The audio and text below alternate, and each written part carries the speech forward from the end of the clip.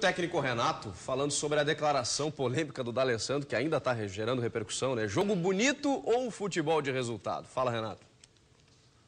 Bonito, na minha opinião, é você fazer filhos bonitos e casar com uma mulher bonita. Em 82, o Brasil jogou um futebol bonito e voltou bem mais cedo para o Brasil. Eu gosto muito do Alessandro, ele é um grande jogador, admiro bastante ele, entendeu? É, mas no futebol, o futebol ele é, ele é resultado. Eu sempre penso da forma de que se eu puder jogar bem e ganhar, ótimo. Se eu não puder jogar bem, mas ganhar o jogo, eu quero jogar mal sempre. Só que a minha equipe vem jogando bem e ganhando. De vez em quando, a minha equipe dá um chutão. Quem não dá um chutão?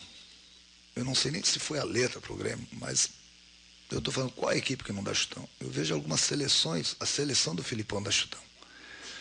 Então, eu acho que no futebol é, é resultado. Prefiro jogar 10 jogos mal e ganhar os 10, do que jogar os 10 bem e ganhar 3. É importante o Grêmio estar tá vencendo, há, né? Há, há um, um, grande engano de todas as partes aí, tá?